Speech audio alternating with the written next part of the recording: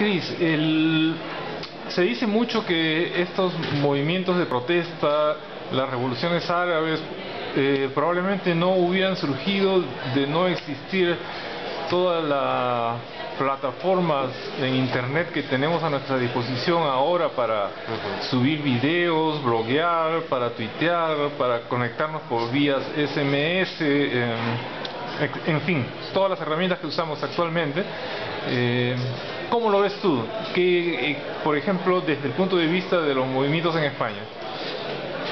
Pues ha sido fundamental, porque desde el, desde el momento en que desde tu desde tu casa, desde tu habitación, puedes estar en contacto con miles de personas en, que tienen un objetivo común, que quizás puede ser, pues mañana vamos a ir a, a ocupar la plaza, la Puerta del Sol, o cualquier plaza, la Plaza Cataluña, la plaza de, de Málaga o cualquiera, pues es un, es un nuevo concepto de, comunicación horizontal en la que cualquier persona puede hablar con otra persona de, otro, de, otro, de otra ciudad y compartir ideas. También ha, ha sido súper fundamental el hecho de poder uh, recibir imágenes y vídeos y fotos de de protestas o de agresiones policiales o de llamamientos a la movilización es la tecnología usada para la acción social es no tiene límite. Y, yendo al, un poco más eh, específico digamos el no se dispersa mucho a veces la utilización de las etiquetas en Twitter eh, con la, la intención original no, en principio no. Por ejemplo, en España está funcionando muy bien.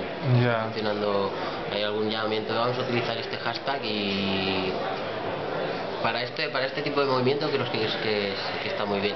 Luego lo que sí que hay se, se, puede cambiar el sentido para otro tipo de bueno para otro tipo de fines políticos usados contra el movimiento en el que se revierte desde el movimiento y se le da pues otro otro con humor se, se, toma. Los, eh, digamos, el gobierno, las, las autoridades han usado también la etiqueta para tratar de desvirtuarla.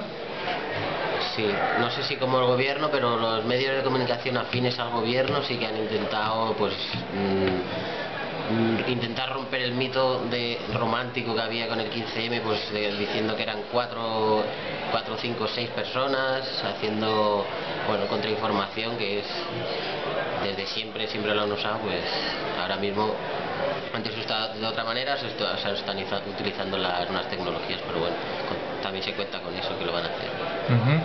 Ok, gracias. Venga.